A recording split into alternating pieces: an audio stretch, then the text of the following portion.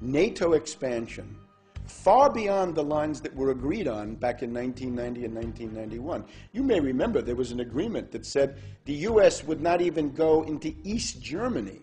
And now we're all the way to Lithuania and Georgia and Ukraine and all these places. Now, what we're headed into is a Polish missile crisis.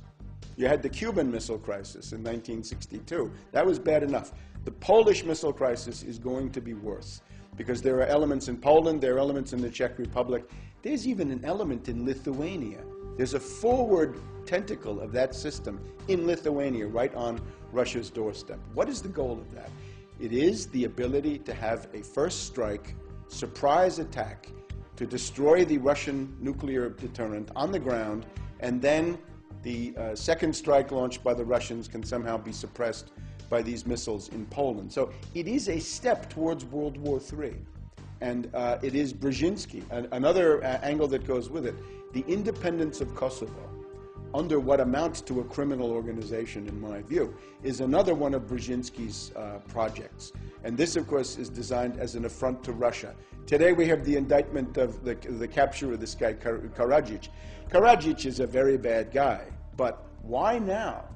And what's the goal? This is designed to further inflame relations with Russia uh, even as uh, a possibility of war between Russia and Georgia comes on the horizon. So this is now a full strategic envelopment. This is not just Iraq and the Persian Gulf. This is now a worldwide strategy. And again, the mind of it is Brzezinski.